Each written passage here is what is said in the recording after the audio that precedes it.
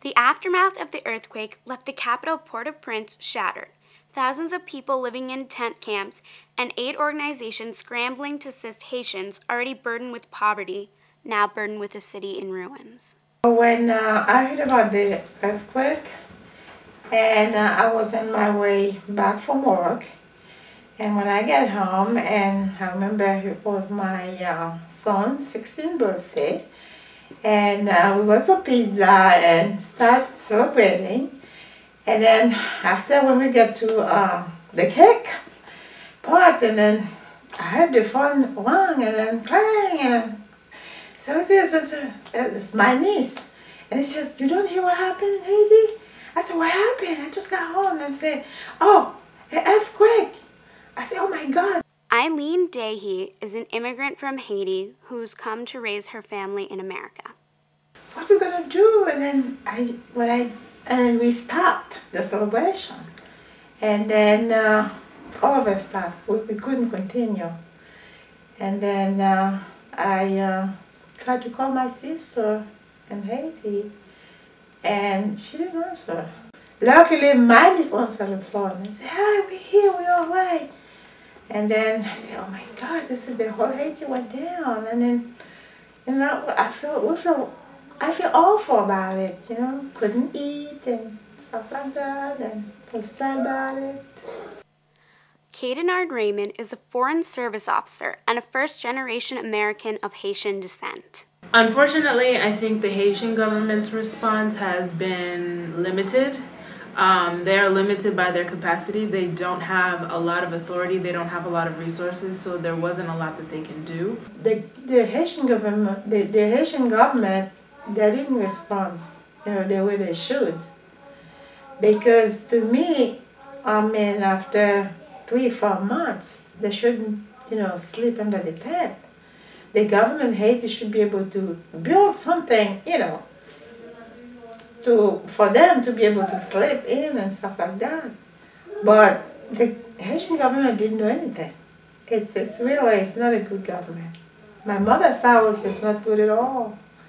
It's not habitable. Nobody can live there because it's cracked all over the house. So they had to sleep under the tent, you know, for more than four, five months. There, yeah. That's what they do because they're afraid to go inside the house. The Haitian earthquake has been called the worst urban disaster in modern history.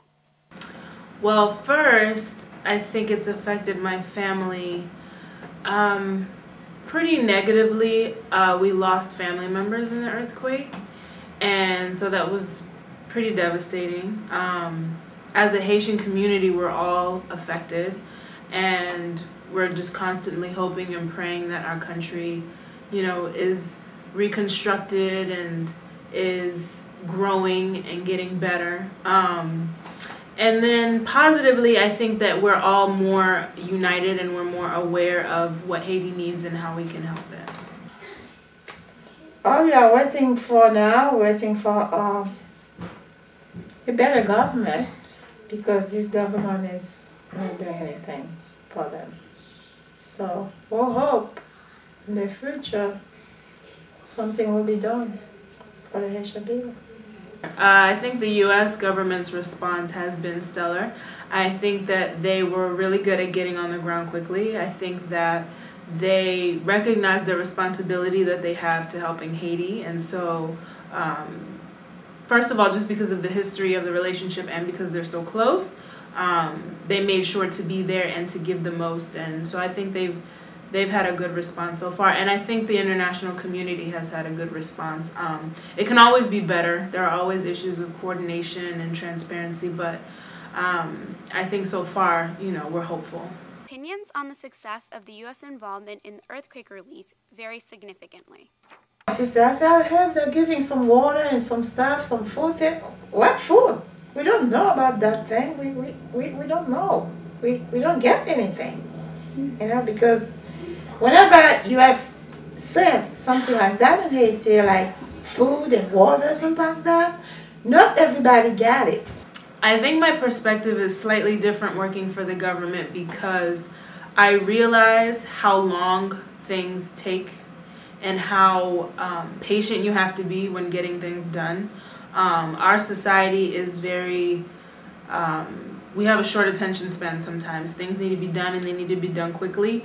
And when you're working with a government bureaucracy, it just doesn't work that way. Things take time and they take a lot of negotiation on a lot of different ends. So um, I think that's something that I know to be true for development processes as well. So Haiti and you know rebuilding and developing like that's something that's going to take a lot of time. It was going to take a lot of time before the earthquake and especially after. Going to Haiti before the earthquake, um, Haiti has always been underdeveloped. This is not something that's new. Haiti has always had um, bad infrastructure. It hasn't really had like a formal um, economy, and so you kind of get this developing country feel when you're in Haiti.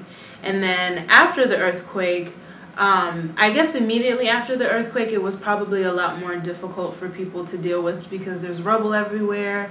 At one point, there were dead bodies everywhere. Um, but I went to Haiti in August, which at that point had been some seven months after the earthquake. And although there's still rubble in the streets, people have moved on. It's there's a there's a sense of you know we're going to get through this, and there's a resiliency that Haitian people have. So it wasn't it wasn't that palpable the difference. Um, there's a lot more people from other countries there now. There's a lot more people from different organizations in the U.S. and in the international community. So I think um, one of the biggest changes is all the attention that's given to Haiti right now. Um, my name is El Kani Diada, and my mom's um, um, um, uh, I'm from Haiti.